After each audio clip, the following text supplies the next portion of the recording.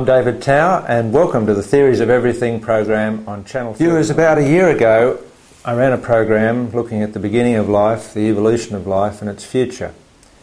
On that program, I suggested that one of the major headlines that we might be confronted with over the next 10 years might be something to the effect of life creates life.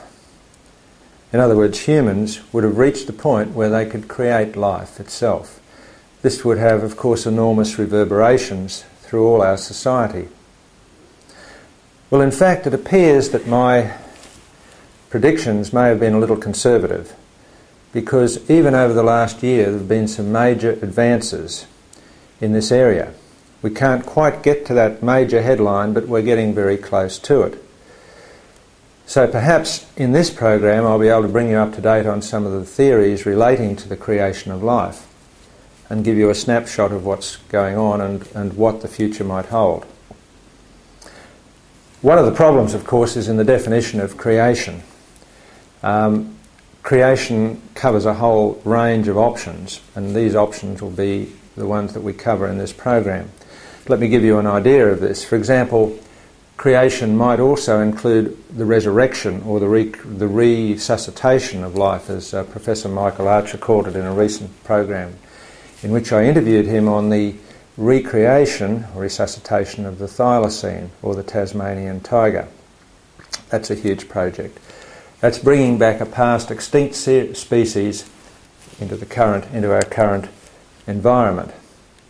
That's one form of creation. Another form might be re- the reverse of that almost, re-engineering life, taking current life and re-engineering it back into, the, into its past forms. And uh, there have been several spectacular beginnings to that option. Another form of the creation of life might be to clone a new species, and this is already occurring with the, uh, with, with the yeast organism, for example, which we'll discuss briefly. Not quite a complete new life form, but a new species. Um, another major area of research is in tinkering or manipulating the code of life, the codes being the bases in the genome, in the blueprint of life that produce the amino acids that produce the proteins of which we're all made up. So, playing around with those codes and creating a new type of uh, a new type of species again, a new form, a totally a totally new form of species, perhaps in the future, is another is implicit again in the definition of the creation of life. And it goes on. There's projects uh, currently underway looking at the creation of artificial chromosomes. Again, creating a new form of life, one that's never been on the planet before.